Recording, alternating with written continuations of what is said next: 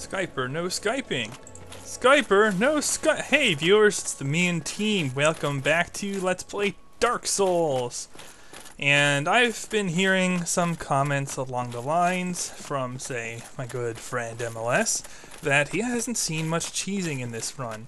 And you know what? He's right. Aside from fishing like uh, backstab fishing, like it's going out of style, I really haven't broken the game that much. So, in this part, as it turns out, even though I pre-recorded this, we're going to be doing just that. It's time to break the game a little bit. And uh, so to do so, we are going to sequence break a little bit, although this kind of game is kind of built for sequence breaking. But we're not going where we're supposed to go next. Not that I've really upheld that in the first place, for example. Ah, no! No, where are you putting your sword? I don't want it there. Um, I really haven't gone where I'm supposed to, except for the Taurus Demon fight. Other than that, I've been all over the place trying to gather items that make this game a little bit easier for us. Uh, but so far, nothing too crazy, just some soul arrows, you know. I haven't really gone for the game-breaking goodies just yet. So that's why we're heading into Darkroot. And are we heading into Darkroot Forest? Well, no. There is a good way to farm there, and I think I'll show it off at least once uh, at some point during this playthrough. Um, but farming is a little bit dull and slow. I say that, but uh, uh, that doesn't mean that um, it, it has to be. But the way you farm in the forest is basically by tricking the NPCs into repeatedly running off the cliff over and over again. And I, I, think anybody who shows off ways to cheese the game probably needs to demonstrate that at least once. So I'll get to it, but that's not where we're headed today. Today we're heading into Darkroot Basin. Uh, one of you suggested that I take on Havel in this part, basically like how I fought the, the Black Knight or Dark Knight or whatever. Yeah, Black Knight. Um, just club him to death with backstab fishing. Um, for those of you who aren't nor used to the game, the amount of time that would take with a standard club and like no stats scaling to speak of since I have base strength. Wow, that would be slow. Yeah, we're gonna we're gonna go. This is Dark Souls and kick this guy off the cliff. And yeah, that that would take a while. I, I'm estimating somewhere in the neighborhood of five straight minutes of me fishing for backstabs. well, at least you guys would get a clear glimpse on how to fish for backstabs. Anyway, to get into the Darkroot Basin, veer off to the right here like you're seeing. Be wary of Liar. That's good advice. I don't know why they put that there. Maybe someone else suggested to try jumping, and the, the next guy put a soapstone sign down saying be wary of Liar. Whatever. Dark Darkroot Basin it is. We're going down. And it's a ways down. Don't fall. You it will kill you if you fall. And what am I doing here? Ah, preemptively equipping the light crossbow. It really shouldn't be doing that at this point, but hey, you know, what's a good let's play without some blunders from me?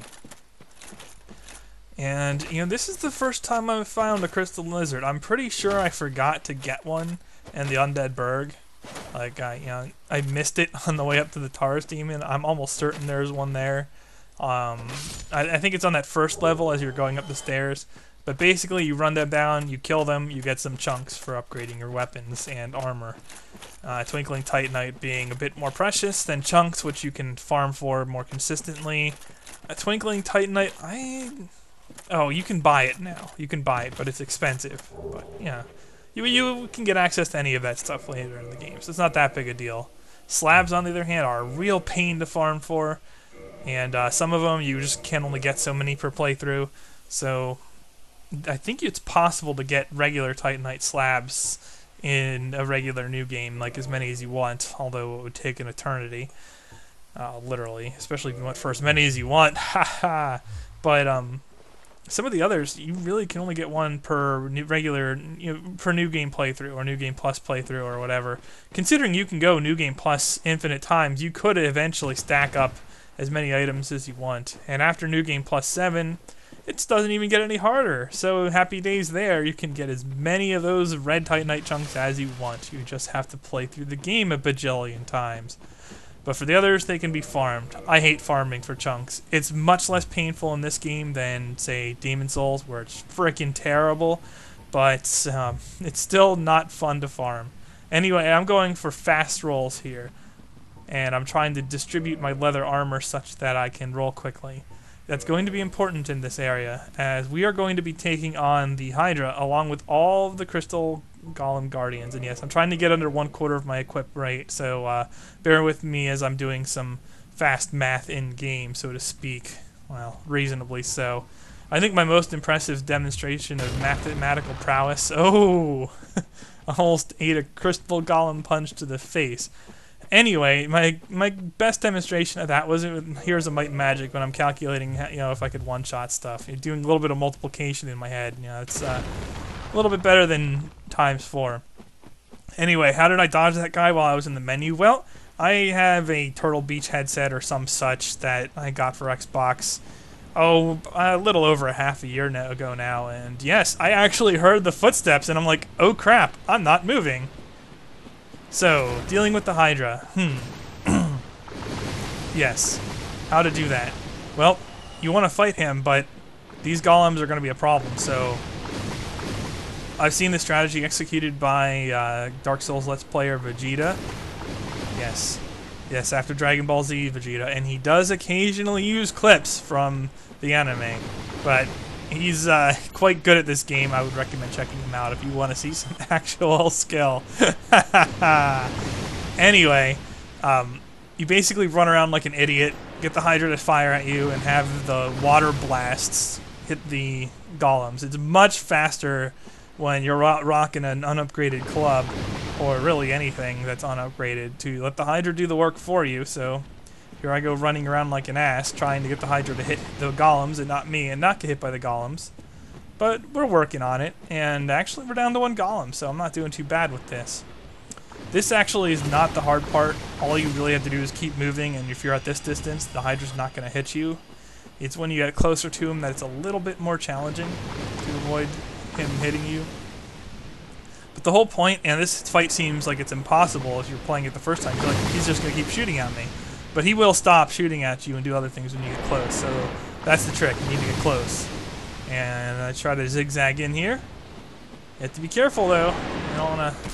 Yeah, I see. I picked a bad time to cut back, and now I'm in trouble. Because now I'm pinned at the worst range where he basically shotgun blasts at me, and I'm not close enough to get him to stop, but I'm not far enough away that I can dodge consistently, and this is a problem. And I basically get one-shotted by him because I get hit by two of his water blasts. Lovely. So, we're going to do a mulligan. Now, deaths like that, and the death to the three undead soldiers in the previous game, uh, previous part, those are not nearly as humiliating as, say, the death in part two where I got killed by that regular undead soldier. That was really bad. That's face palm. However, all these deaths are avoidable, actually.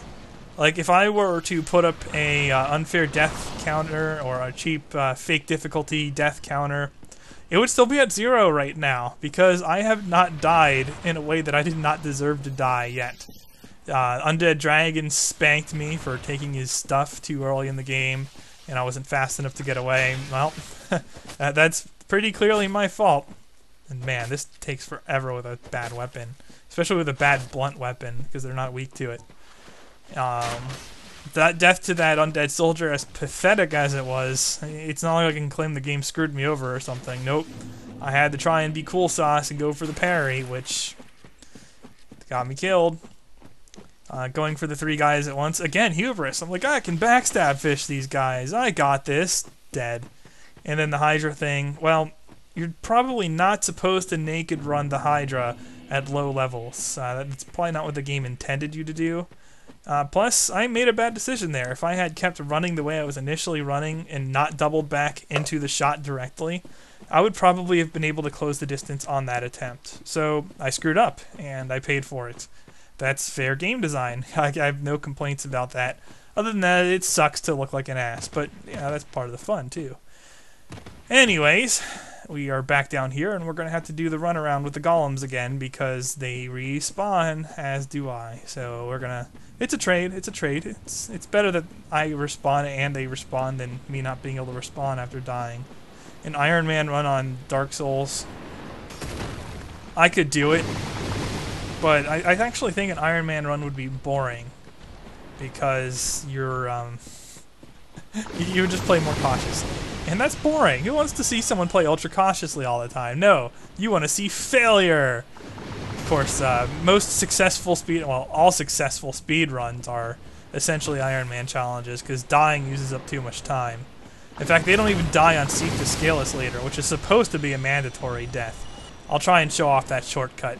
I'm not exactly pro God mode at it, but, you know, well, I'll see what I can do. And here I eat another Water Blast. Lovely. I'm really uh, making this cheesing run look like the game is trivial, aren't I? But I have been misplaying, and if you follow these guidelines, you can do it too. It might take a few tries if you've not played the game before.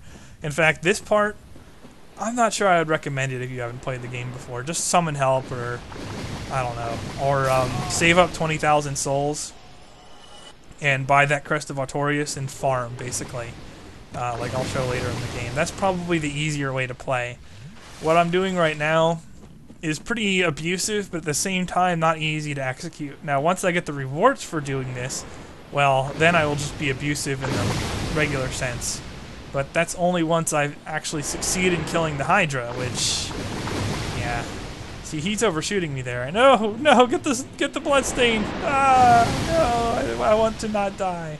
And apparently I manage, because here I am. And yes, once you are close enough, he switches into, well, for lack of a better word, melee mode, I guess. And he puts his head into this one. His back, his neck, whatever. Anyway, hmm. Yeah. Light crossbow, plus zero.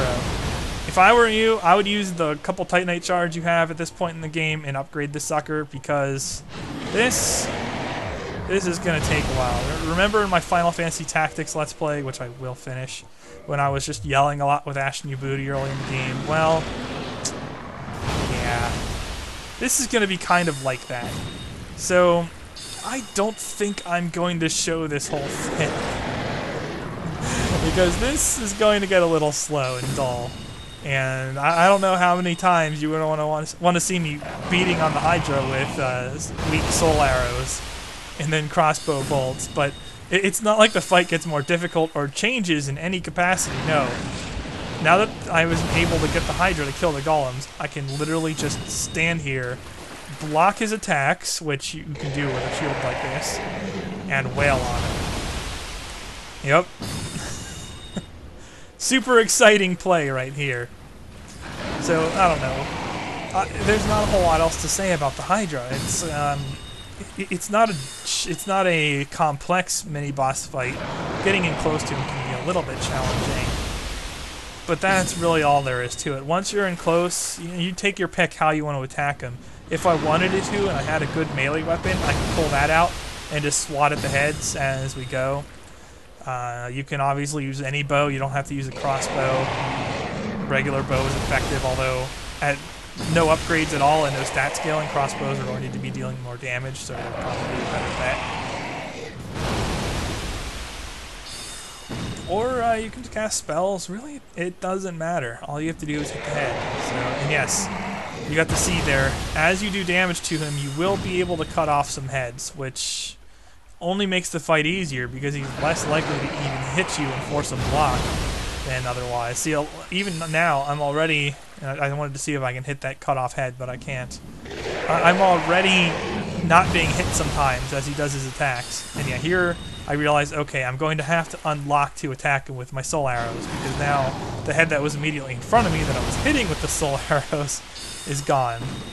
And you know, I've played a decent amount of multiplayer, and on multiplayer, when you're fighting other people, you really do kind of have to manual aim, especially if you use pyromancy, which I adore using, like if you're throwing fireballs. If you lock on someone and throw a fireball at them, they're just going to roll through it and backstab you, or roll out of the way, or take any other number of evasive actions that's uber simple and stupid. But if you unlock and predict where they're going, well, that's dangerous for them. And if they eat a great fireball, with um, like all the boosts for magic casting and like maxed out pyromancy glove, that's gonna hit for like a thousand damage. That would one shot this character. Um, probably even close to the end of this playthrough, it would still one shot this character. Like most people have in the 1500 to 2000 hit point range. So if you stun them with a great fireball and then hit them with like a great combustion or something, they're either dead, a lot of them are dead, or almost dead. That is ridiculous. You know, of course, my personal favorite, which is hitting gankers with Fire Tempest. Man, that'll be fun to show off. I, am going to have to at least commit one video to that after this playthrough, because there's some fun to be had in player versus player. And maybe I'll show off some co-op too, just to show how that works. Because honestly, as cheesy as this run is going to get as the game goes on, nothing beats just summoning somebody who is significantly stronger than you and knows what they're doing into the game and basically watching them own the crap out of everything for you. And the nice thing about Dark Souls uh, co-op is that the game is designed to reward them for doing that. So they have good incentive to do that. You can get a lot of souls for helping people. Um, it's pretty close to farming properly, in my opinion. And, well, maybe not in like New Game Pluses, but you get a lot of souls for it, and it's so much less dull than just grinding souls over and over again by killing the same enemies repeatedly. And yes, here we are out of soul arrows, so time to switch back to the crossbow now that I actually should switch to the crossbow. And yeah, the thing didn't even hit me while I was doing that. I just stood in one place switching weapons. you know what, viewers? I'm going to stop with the commentary here and go super fast mode because we've been sitting at the Hydra long enough already. And this part is going to take a while, so I will be right back.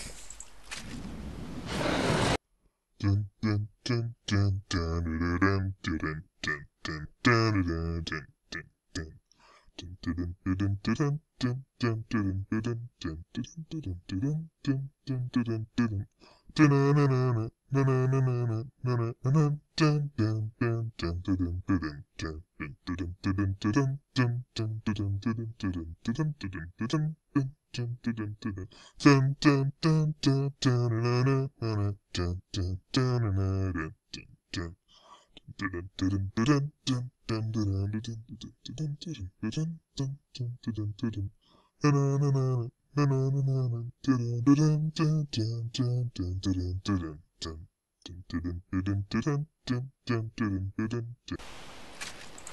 Okay, and we are back, and as you can see, I ran out of bolts, but fortunately I still had the 16 standard bolts that come with the crossbow when you pick it up in the Undead Burg, and so I load those suckers on and even towards the end of this, I was trying to conserve my ammo and do a little bit more damage per shot, but I realized I was close enough. And no, I didn't plan this out perfectly. So, apparently that's on the lower end of what you need to kill him. Be mindful of that. If you want to take him out with only arrows, geez, I, I would recommend, if you're going with a regular light crossbow only, I would recommend something in the order of like, you know, 300 wooden bolts or whatever, which is only 3,000 souls. It's not that many souls, so you can get away with that. Now, why did I kill the Hydra? And why did I go out of my way to kill the Hydra early? Well, that's where the cheesing comes in. I mean, aside from the fact that I just completely destroyed that boss with basic equipment and really not much threat once I closed the distance, um, it's what he allows us to get. And um, what he allows us to get is a couple things. But first, now that we've killed the Hydra, we have to uh, take out yet another enemy. And I might actually have to restart here. Sometimes it doesn't spawn right away. And that is indeed the case. Um, there should be a gold golem here, and there isn't. And situations like this, or when you kill somebody and you're looking for their equipment drops or whatever, well, you uh, just quit out and join back into the game, and you're good. You're good to go. You're good to go. Bandai Namco, From Software. It, it took me a while to realize like From Software was a thing, you know. Like I thought it was like From Software colon havoc or something, like or whatever it was in Demon Souls. I mean, what do you mean From Software? Well, apparently From Software is the name of the company. So there you go. Dogfish beer is good, by the way. Maybe not the best out there, but I like it. It was recommended to me. Anyhow, now that I have rejoined, uh, the Golem is here and it instantly aggroes. That's nice. And uh, this is probably a bit more, I don't know, maybe it's not more challenging than the Hydra. It's pretty comparable. But this is the harder stretch of the cheesing run, in my opinion. I probably won't see anything this difficult again until pretty far into the game because of what I'm going to get here. Uh, might not really see a fight as as dangerous as what I'm currently in, uh, or the Hydra fight. Anyway, this guy has a couple basic you know, SWAT punching at you attacks, and then that crystal attack. The crystal attack's pretty easy to dodge, just roll to the side. It doesn't even have as much width as the regular crystal golems, so you don't have to worry about that. But this is not going to be a fast fight either, because um, yeah, he really hurts you if he hits you.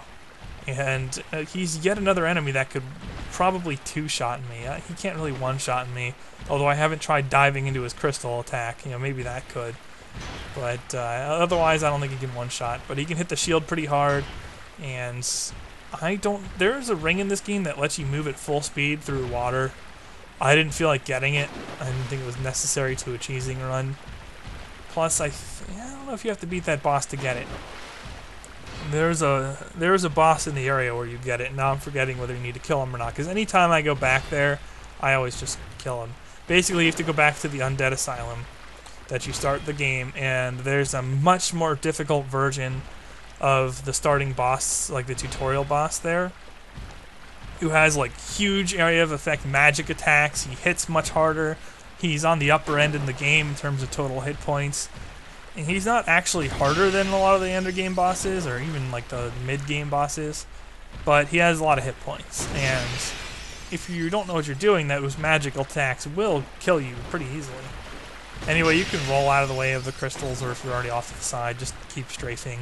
Even without the fast movement in the water, it's not that hard to dodge this guy, because he doesn't have a lot of variety in his attacks. He's not particularly fast, which is a plus, and uh, you can just block him. So those things together are pretty useful. Don't block the crystal attack, because I think it has a magical component to it, or just the fact that it's spiking you out of the floor I, I forget, you know, they haven't hit me in so long. but uh, you, you can't block them completely, I'll put it that way. At least as far as I'm aware. Every time I've tried, I just took damage. And then I learned, hey, if you just roll to the side, you're good. So that's what I'm recommending to you. I don't care if you're going fat roll, you can roll to the side. It's not that hard. You'll still get out of the way. Because he winds up. Yeah, any enemy that really winds up and telegraphs their attack is going to be much easier to deal with than enemies who are very fast or they have unpredictable attacks or they have random attacks that really don't telegraph themselves. Um, for example, that one boss in Super Meat Boy in the Hell levels. Yeah, I actually have never played that, but I saw. Um, actually, I heard that from multiple sources. My friend Lance was talking about it. I think uh, it was like a the pseudo fake difficulty boss. No, it's not fake difficulty. It's trial and error gameplay. That's the appropriate trope. Know your trope. It's trial and error gameplay because the boss has the same set pattern, and you have to memorize it because he doesn't really telegraph his attacks appropriately. So there's no time to dodge. You know, it's uh, not a very skill-based fight. So that's how that is. That's not true for most enemies in Dark Souls. I think it's technically possible if someone had enough skill out there and they were careful. I don't know who has that combination of traits, but uh, I, I think it's possible to get through this game without dying. I really do.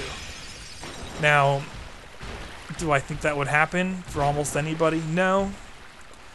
No, because it's pretty human to make mistakes, and this game really ruthlessly punishes mistakes there's really no trial and error gameplay, like, even in areas like Sen's Fortress, or mm, I guess the closest thing might be uh, that Crystal Cavern. We'll get there. I'll showcase the Crystal Cavern. Well, I have to. They, they removed the kiln glitch, and I wasn't going to use it anyway. So, okay, we are finally through with fighting that same enemy for that period of time. I probably could have sped that up too, but eh, whatever. Most gracious. I am deeply obliged. I am Dusk of Oolacile. I cometh from an age long before thine. I cannot stay here for long. So, before I disappear, allow me to ask one thing. My home, Oolacile, is the home of ancient sorceries. My hope is to pass this profound knowledge to thee, with thine approval. Would this be of assistance to thee? Now this is one proposal from a lady you just can't refuse. I am pleased beyond words. Then I shout, engrave my signature. If thou art in need, pray summon me from my signature. Seems that my time is done. May the great flames guide thee. Now, in terms of character development, I mean, I'm okay with Dusk. I don't like dislike her or anything, but she doesn't stand out as a special character to me. However, she carries some of the most trollish things you can buy in the game. So from that standpoint, I love Dusk. I love Dusk a lot. She also carries some very useful things, which we will be making uh, full abuse of shortly here. We have to get back to where you can summon her first. Yes, Dusk of Oolacile is the reason I came down here.